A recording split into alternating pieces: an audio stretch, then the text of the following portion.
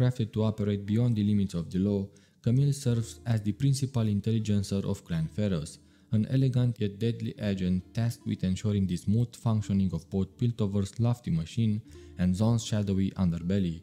Adaptable and ruthlessly precise, Camille sees any lack of finesse as an effort that must be corrected.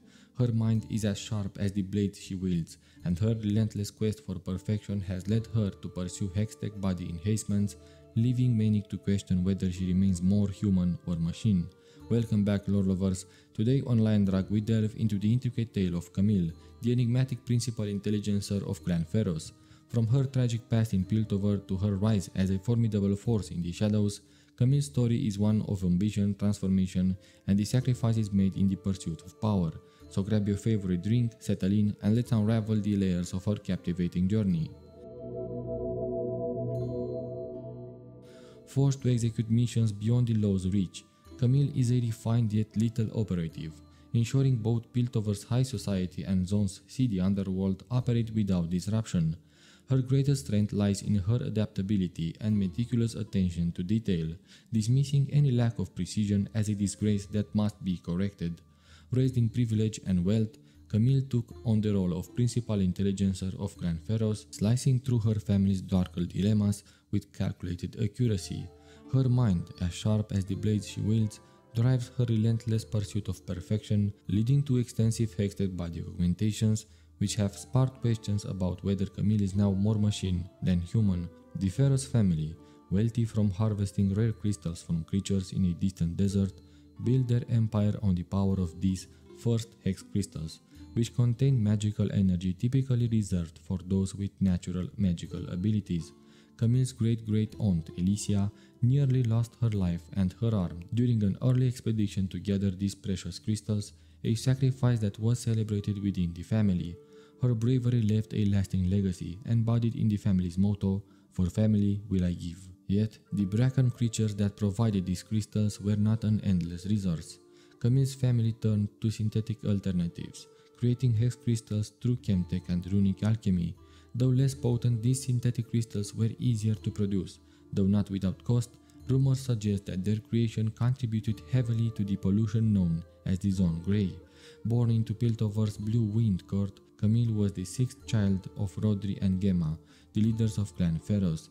However, she and her younger brother Stephen were the only two children to survive into adulthood. With Camille being the eldest, her family spared no expense in her education. From a young age, she was instilled with an aristocratic bearing and a profound sense of duty. Camille's upbringing was one of privilege, with the finest minds of Valoran visiting Piltover and serving as her tutors. She mastered languages like Zun, dialect of southern Ionia, and Ur, Noxian fluently. She also took a deep interest in Valoran's history, studying and learning ancient Shuriman, while accompanying her father on archaeological digs in the Odin Valley. Camille's talents extended beyond intellect. She was an accomplished musician, playing the Selovina at a concert master level. In Piltover's elite circles, it was tradition for a younger child to take on the role of the family's principal intelligencer, the clan's protector and enforcer. This person would act in the family's best interest, safeguarding their secrets and ensuring their continued success. For Clan Ferros, this position held immense importance, and they invested heavily in training their chosen intelligencers. Camille's brother Stephen, frail and sickly from birth, was deemed unfit for the role. The family, especially her father, was proud when Camille took on the responsibility in Stephen's place. As she embraced the role, Camille underwent rigorous training, excelling in combat, espionage, and interrogation. Stephen's envy grew as he watched Camille thrive in the world he had been denied.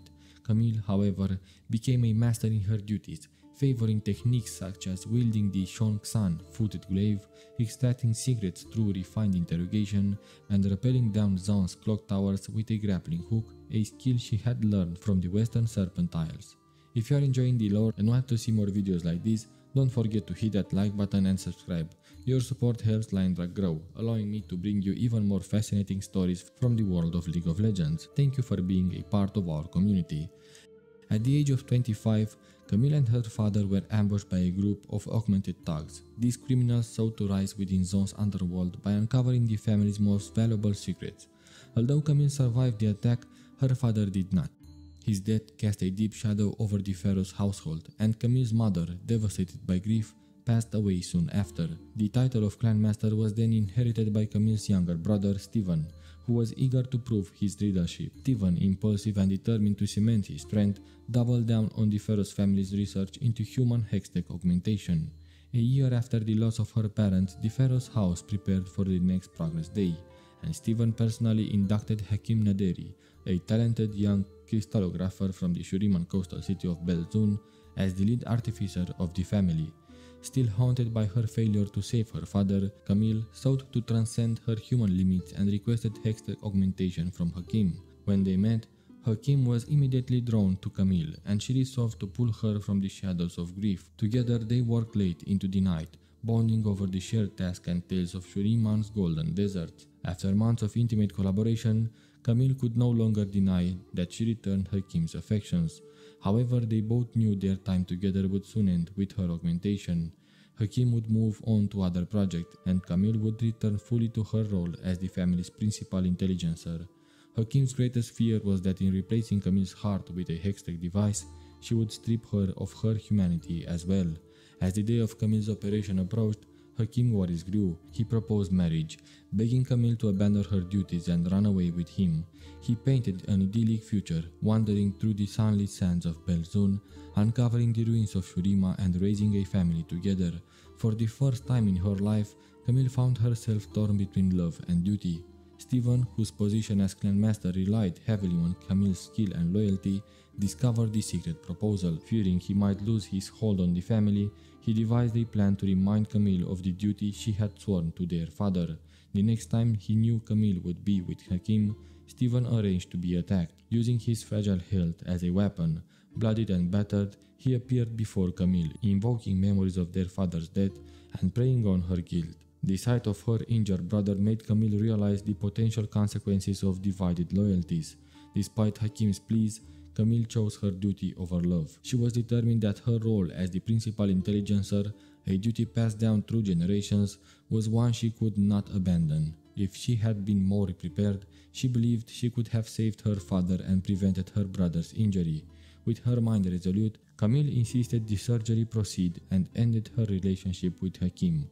Hakim's love for Camille remained unwavering, and he knew he was the only one capable of performing the risky surgery she desired.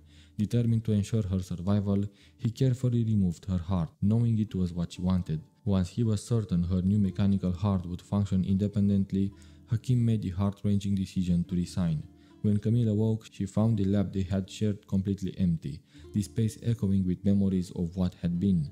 Throwing herself into her work, Camille sought further enhancements, adding bladed legs, grapple spindled hips, and various other minor hex augmentations.